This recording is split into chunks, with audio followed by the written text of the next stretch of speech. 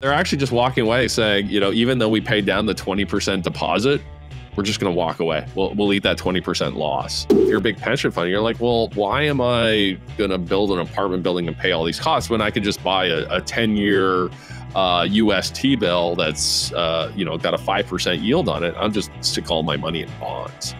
Hi, and welcome to The Missing Middle. I'm Cara Stern. And I'm Mike Moffatt. And today we're talking about why housing starts are so down right now and what that means for Canada's housing crisis. But before we get started, don't forget to like, subscribe, or leave a comment. We'd love to hear from you.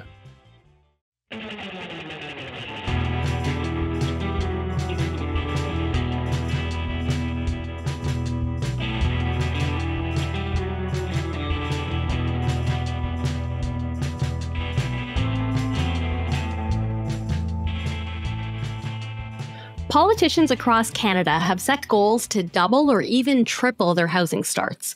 But the CMHC is predicting that housing starts will fall this year. And Mike, I know you've been all over Twitter and other social media platforms saying that things are actually going to be even worse this year than CMHC is saying, particularly in Ontario. Why are things so bleak? Yeah, it's uh, it's not looking good out there. It's funny we often hear about you know worries of uh, labor shortages and things like that in housing, but you know we're we're seeing layoffs in, in the sector, um, and we can look at you know divide the sector out into three parts. Uh, there's the condo market, the home ownership market, that's the the non condo part, and apartments.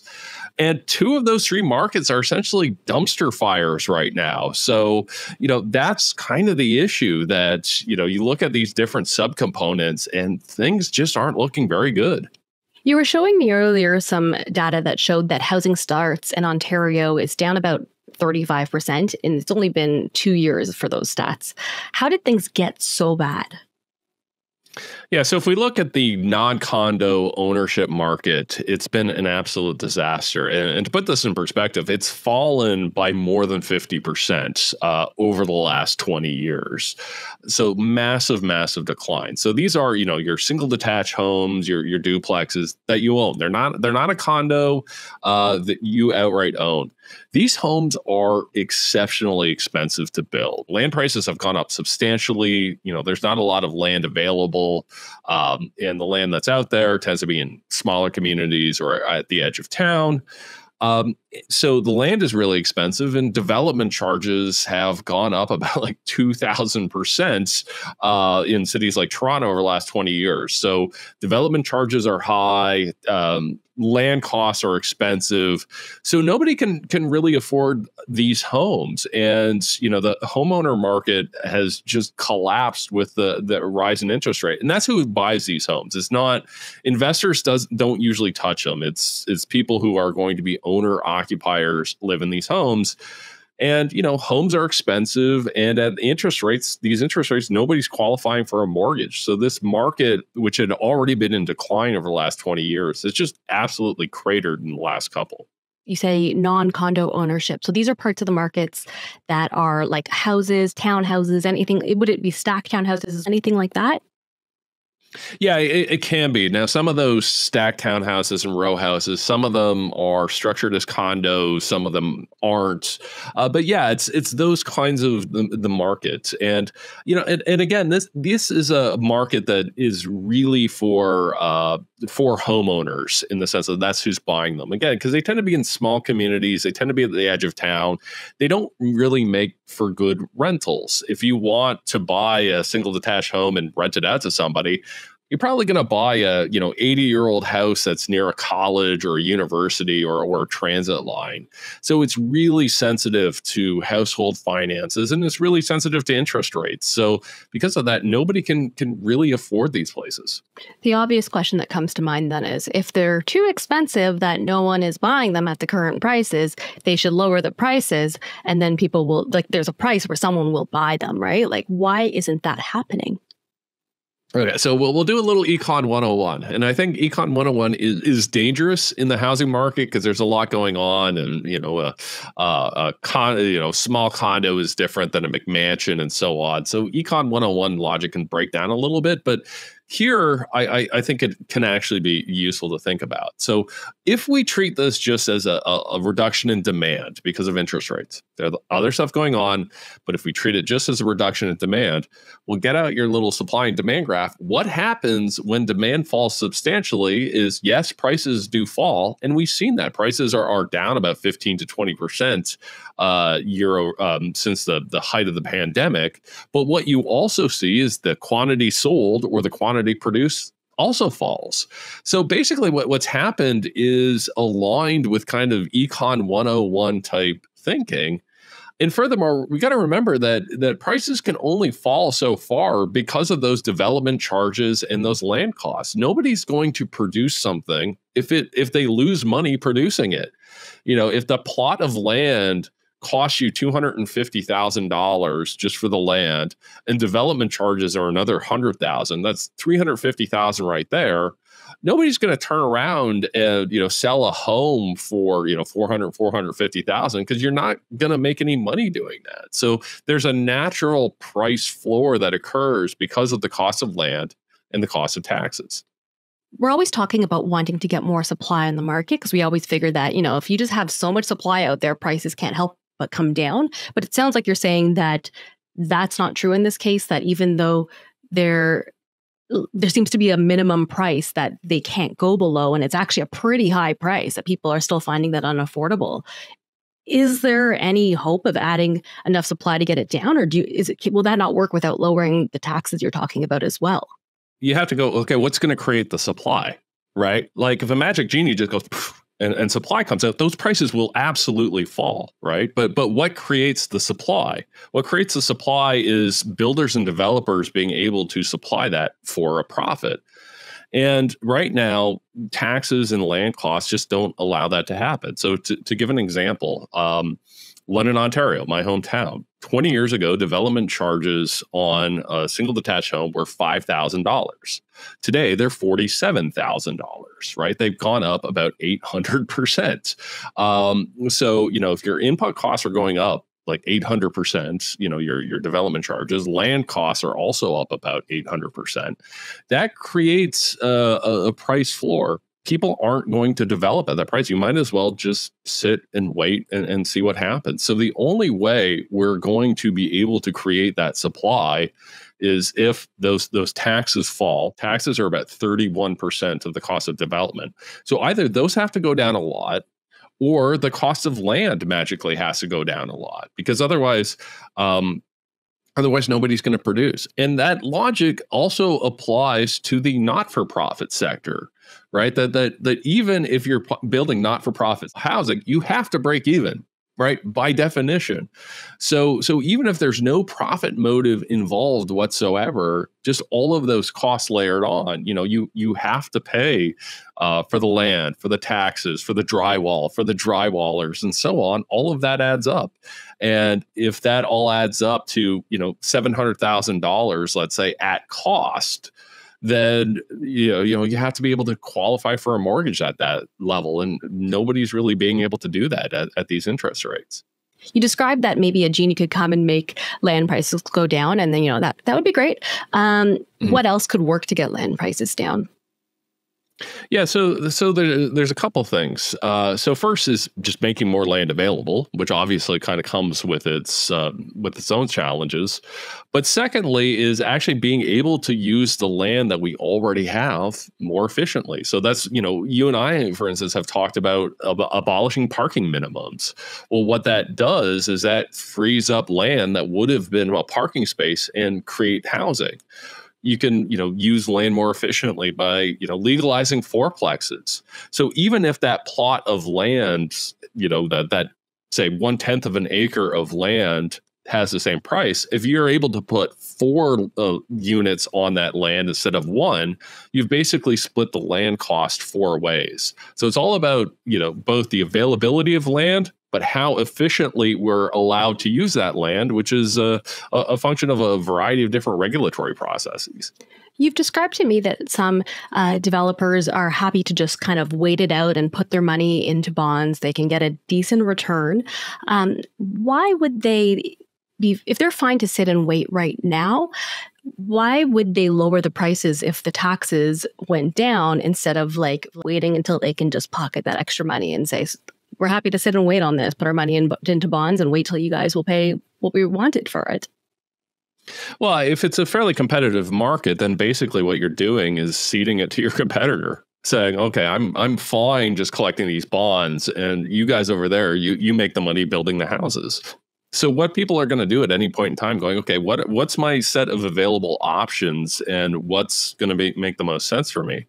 So you have to get to a point where you know building homes makes sense, where you know they can make money doing that. And and yeah, they you, they might time it a little bit, but obviously there's risk in that, right? If there's money to be made today, they're going to make that today. And, you know, in, in, in fact, we've seen in, in history, builders and developers tend to go the other way, where, you know, if we look at the late 1980s when uh, home prices started going up, they actually overbuilt, right? They actually had the other opposite problem where they all kind of gold rushed in and go, oh, wow, you know, there's all this money here. We can't wait. They ended up overbuilding housing and actually crashing the market. So if there's money to be made, uh, builders and developers will go out there and make it. But, but right now, just again, with, with land costs, and and, and taxes um, and interest rates it's just not profitable, particularly on the on the ownership market. I guess that's one of the benefits of getting those multiplexes or any missing middle homes in because it's kind of hard for for any person to get into the business of building ma- on mass, but like you can get smaller developers to come in to compete. So even if the bigger ones don't want to build right now, you still have some people who can build. So I guess that's a part of why we need these kinds of missing middle homes too. Well, on that, like let's think of the math here for a second. Like it might be hard right now to sell a home on a plot line for like two million dollars, right? Which is a lot of money, but if you look at around the GTA, that's you know pretty much what things are going to go for, right? It's like okay I can't, you know, there's just not a market right now to build that many $2 million homes uh, on, on a piece of property. But could you build four, four, a fourplex and sell each of those units for 750,000 for $3 million? You might be able to do that. So that's why being able to build things like fourplexes is so important. Um, first of all, it allows us to use that land more efficiently, but it creates those options where it's like, yeah, I can't sell a $2 million, a large $2 million home, but maybe I could sell four smaller $750,000 homes on that same plot of land. And then you talked about the uh, rental market not being affected by this the same way that the ownership market is. Why is that? Yeah, well, so look at a couple things. So we haven't really addressed the sort of condo markets uh, yet. So the the condo market has similar problems to the ownership market. Big difference there is the pre-construction uh, condo market attracts all kinds of mom and pop investors. It's a very different field. And, you know, that's who usually provides your pre-construction financing. It's a lot of mom and pop investors who will provide the pre-construction financing and then take possession of the unit, maybe own it for a couple of years and rent it out or maybe just flip it those guys are getting crushed right now because of those higher interest rates too that those um, uh, you know, oftentimes they already own two or three condo units. They're seeing those mortgages roll over, you know, at higher rates right now. So they're getting absolutely crushed. So the condo market is, is just dead. Like housing starts right now in the condo market are actually pretty good, but they represent past sales from a year or two ago, right? There's this lag between when the, the pre construction sales happen uh, and when the starts happen, the shovels in the ground happen right now sales are at levels that we haven't seen since the financial crisis and you know are at levels that we usually associate with the 1990s so over the next couple of years starts in that market are going to be absolutely dead just because nobody uh, is buying pre-construction condos right now. It's a it's a broke it's a completely broken market because the, the homeowners can't afford it, but the bomb and pop investors are getting absolutely crushed by higher interest rates. And then when the ones who bought a couple years ago, their homes are being started on right now, but then are they going to be able to actually close when it comes time for that?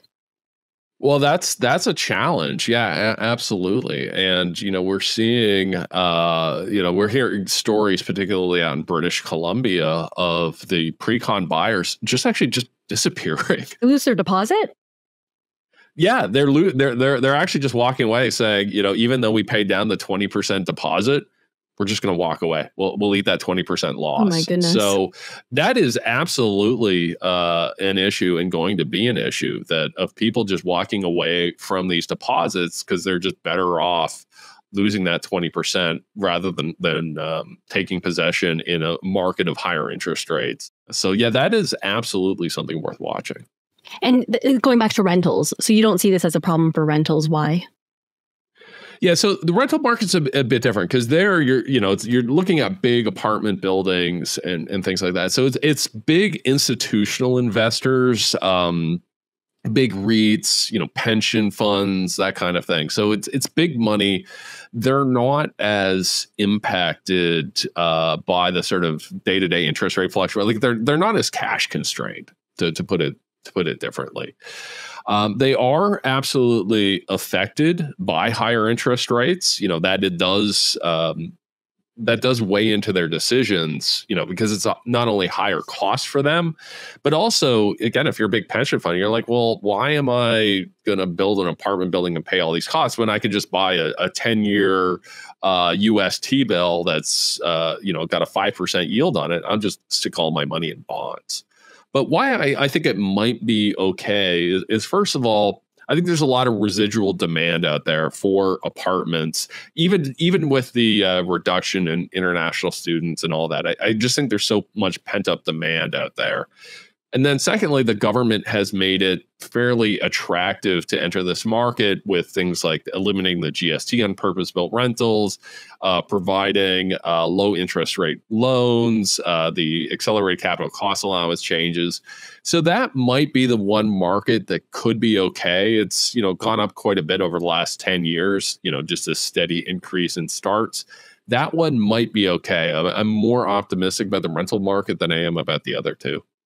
And that's what's so important to get on the market right now, especially given the the cost of rentals. When you talk about pent up demand of rentals, I keep thinking, oh, I guess it's people who are like stuck in their parents' home, stuck with roommates, stuck in bad relationships where they can't leave because they can't afford to, that kind of thing, right? That there's just a lot of demand for it. Well, absolutely. And if the ownership markets uh, or ownership starts are cratering, that's only going to fuel the need for more rentals, right? Because people got to live somewhere. Uh, and if it's not in ownership housing or, or, or you know, condo, whether it be condos or non condos, they got to go somewhere. So we're going to need the, those rental spaces for them. But overall, if we add three, all three of those together, right, we've got these two ownership markets, which both look really bad for the next 18 to 24 months in Ontario and the rental market, which just kind of looks okay, but not outstanding. Right. The the provincial government here in Ontario says that we need to get, you know, 125,000 housing starts this year, 150,000 next year. I don't think we're going to hit 80,000 to be honest. Like we're going to be nowhere near these numbers. We'll just keep so, counting you know, things as homes that aren't and then we can get yeah, to those numbers just yeah, fine. you know, first long-term care beds, uh, you know, college dorm rooms, baby turtles. I don't know what it is next. Yeah, it's a, it's a real problem and you know, it's it, it, it's incredibly frustrating to me because you know, we're seeing the federal government coming out with housing targets, provincial government has these housing targets, and we're absolutely nowhere near any of them. And there doesn't seem to be any sense of urgency among our, our political class to say, hey, we've got a real problem here over the next couple of years. What are we going to do to fix it? Things can change. You know, maybe we'll get lucky. Interest rates will go down faster than anyone expects. Uh, you know, maybe we'll we'll start to see uh, municipal governments actually lower development charges for a change. You know, maybe the province will start to implement uh, some of the uh, recommendations from their own task force report. You know, there's it's possible uh, and i'm hopeful that you know the more you and i and others have these conversations we can start affecting change because again i'm just yeah, you know, politicians are talking about the problem, but I don't think they really get how bad things are out there right now. Thanks so much for watching and listening, and thanks as always to our producer, Meredith Martin. If you have any burning housing or economics questions, please feel free to reach out to us at missingmiddlepodcast at gmail.com. And we'll see you next time.